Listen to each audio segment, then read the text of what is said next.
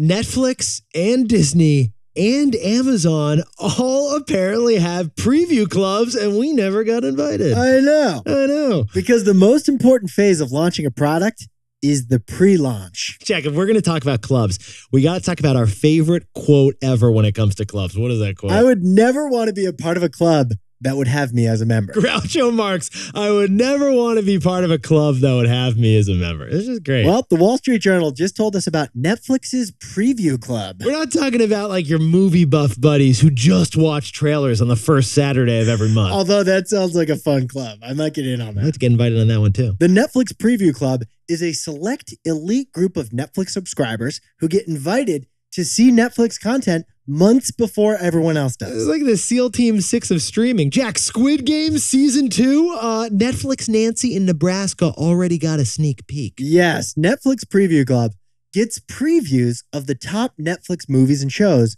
on one condition. You can't spoil the ending for anyone. Yeah, don't tell anyone about the show. But actually, the main condition is a little different. The main condition is you got to tell Netflix what you thought of the movie in great detail. the key of the Preview Club is give Netflix feedback so they can tweak the movie. And here's what fascinated Jack and I. It turns out that Netflix's preview club uh, isn't new and uh, isn't the only one. According to Variety, it's been around for over a year at Netflix, and Netflix has already improved movies based on feedback from members of the Preview Club. Jack, apparently the first rule of Preview Club is you don't talk about Preview Club, and nobody spoke about Preview Club. For example, the Preview Club was already used for the movie Don't Look Up, the Leonardo DiCaprio movie on Netflix about the meteor coming to planet Earth. And the Preview Club members said that Don't Look Up was too serious a movie when they checked it out. Right, and they checked it out months before we all got to, so the creators had time to act on that feedback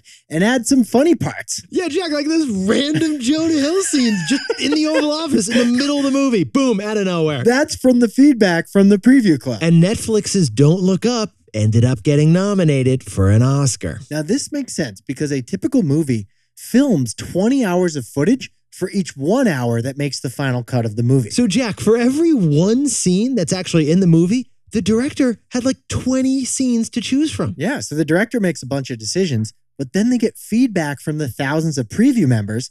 The director might swap out one scene for another one. And what we're saying here is that Netflix is basically just crowdsourcing the final version of all the movies you're watching on Netflix. Yeah, kind of. Netflix is turning its audience into its editors. Yeah, kind of. And it's not just Netflix that seems to be doing this. Amazon Prime Video is doing this. Hulu is doing this. Preview clubs are the new rage. Jack and I are literally not invited to any of them. So, Jack, what's We've gotten zero invitations. the takeaway for our buddies over at Netflix? The most important phase of a launch is the pre launch. Yetis, Jack and I are huge believers in the importance of creative instinct, going with your gut and pulling with that gut. Creators decide with their artistic gut what is going to be compelling, and then they make it. Yeah, but feedback, it's a gift. It's a data point. It improves the product. So why would you wait until after you've launched the product? The optimal moment for feedback is before the launch, so you have time to improve it before launch. Entrepreneurs often ask friends and family to try out a product first, tell them what they think. Established brands do focus groups, grabbing random people off the street and paying them to try out the product and give their opinion. Netflix